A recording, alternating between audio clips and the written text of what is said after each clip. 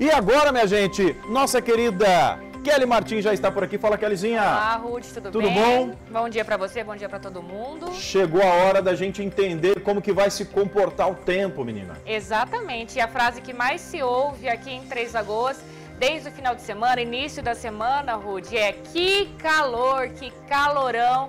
E é claro que não é para menos, Rude. Ontem foi o segundo dia mais quente em Mato Grosso do Sul em 2022. Segundo o meteorologista Natália Brão, que é ligada à Uniderp de Campo Grande, essa Uniderp ela também ligada ao Instituto Nacional de Meteorologia, a temperatura média no estado foi de 40 graus na terça-feira. Aqui em Três Lagoas, os termômetros registraram 37 graus de temperatura e a sensação térmica chegou a 39 graus.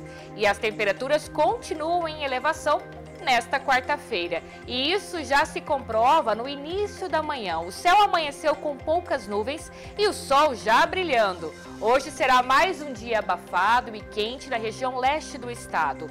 A temperatura máxima em Três Lagoas poderá chegar a 36 graus nesta, nesta quarta-feira. Só que já já, viu gente, eu trago uma boa notícia. Tem chuva chegando Mato Grosso do Sul.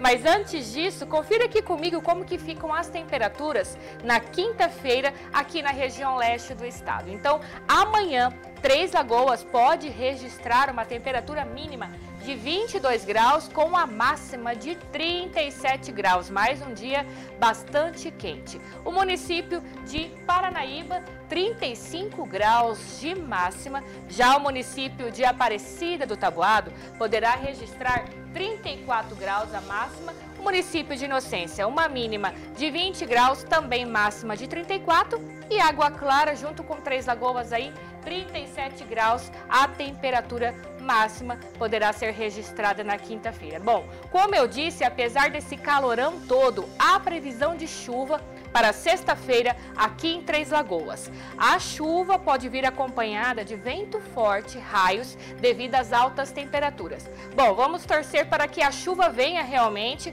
mas que não seja nenhum temporal, seja apenas uma chuva para espantar um pouco este calorão que está castigando os três lagoenses.